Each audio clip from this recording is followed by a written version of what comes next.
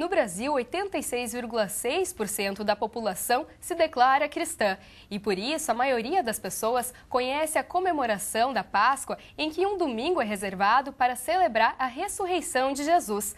Mas em outras religiões, a mesma data pode ter outros símbolos e significados. E é para conversar mais sobre esse assunto que recebemos aqui no estúdio a professora Ana Maria Formoso Galarraga, que é integrante do programa Teologia Pública do Instituto Humanitas Unicinos.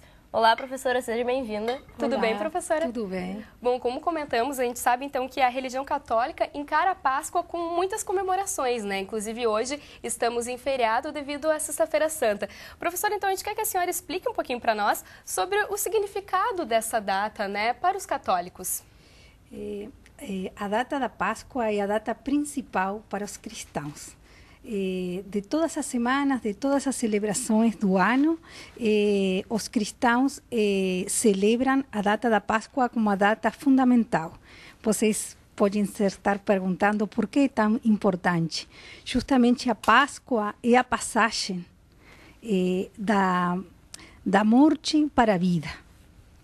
Eh, fundamentalmente eh, está relacionada, acho que podemos conversar com vocês sobre a Páscoa judaica, mas a Páscoa cristã condensa seu conteúdo teológico eh, de vida, de projeto de vida, na pessoa de Jesus Cristo, aquele que deu sua vida, aquele que em ele podemos encontrar a força para, para ajudar e fazer essa passagem da morte para a vida ou de situações eh, de, de, injustiças para situações melhores.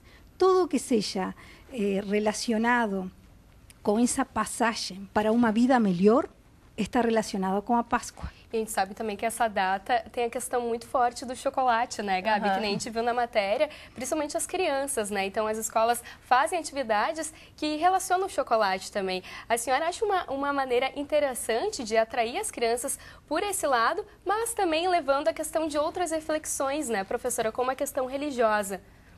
Eh, a questão do chocolate é das uhum. crianças e também dos adultos. As adultos também gostam, gosta. né? Mas o significado eh, do chocolate hum, está relacionado, sabe, com a questão do, principalmente do ovo, tá? A questão da fecundidade, a questão da vida, a que questão é um dos, da, símbolos. dos símbolos da Páscoa sabe? Então, é, é, verdade que muitas vezes se perde assim qual é o significado principal, mas nós podemos fazer um resgate a partir da fer fertilidade, a partir da vida e, e a partir principalmente onde se gesta a vida, tá? Então, a questão do ovo, sabe? Até inclusive eh, dentro da tradição judaica, dentro dos pratos que se servem, que se tem os alimentos, tem o ovo também na tradição judaica, porque quando o ovo mais se ferve, mais duro fica. Então, eh, na tradição judaica, nós celebramos muito, eh, se celebra muito, a questão da liberdade e a questão em relação também com o sofrimento que passou o povo.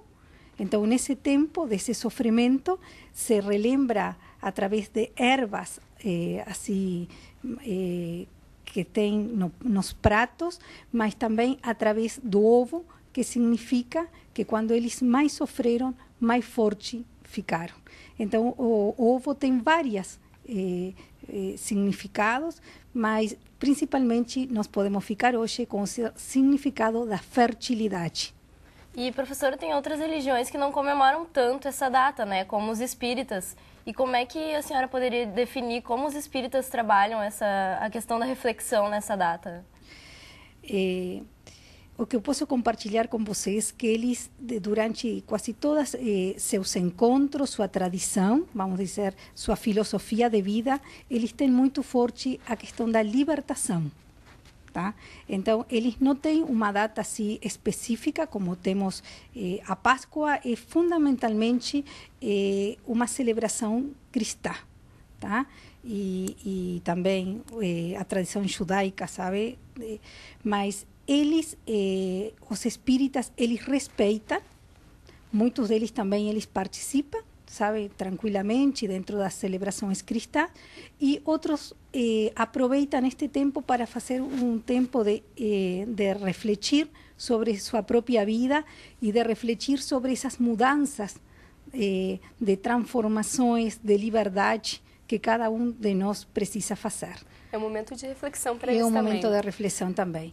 Alguns não, é, é aberto, não podemos é, colocar, sabe, uma única definição, é, mas podemos dizer sim que é um momento de refletir sobre as diferentes passagens e as diferentes transformações. Professora, existem religiões então que não comemoram a Páscoa? Porque para eles eh, existem, eh, não todas as religiões eh, temos a mesma base sabe, a mesma tradição.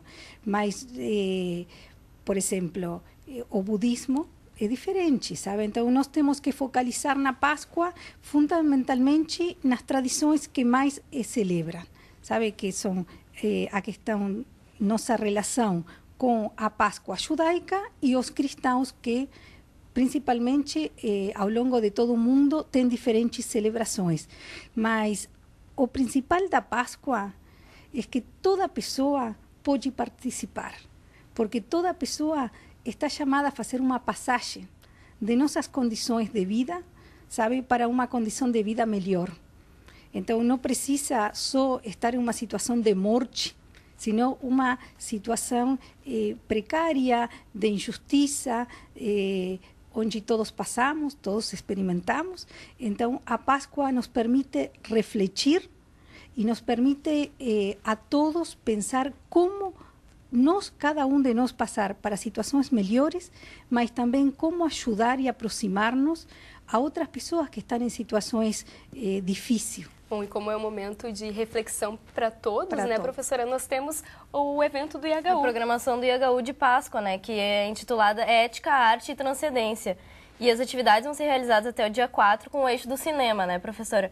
Mas antes a gente sabe que aconteceram atividades de música e estudo dos Gênesis. A gente quer saber da senhora como foram essas atividades. Eh, nós este ano estamos eh, celebrando, realizando a décima Páscoa do IHU em relação com a universidade e com toda a sociedade em geral. Eh, a Páscoa, eh, como falamos, tem esse sentido de passagem de vida e para nós é importante também eh, quais são as passagens que foram eh, que estão na cultura e nós temos passagens eh, que se vão refletindo através do cinema, através da música e através da cultura. Então temos muitos profissionais, eh, professores, estudantes que eles tentam através de seu, de seu esforço de plasmar na simbologia, na cultura, na literatura, passagens de vida. Então, eh, os filmes relatam, retratam, são narrativas dessas diferentes passagens. Então, o IHU trabalha a questão da Páscoa em diálogo com outras ciências.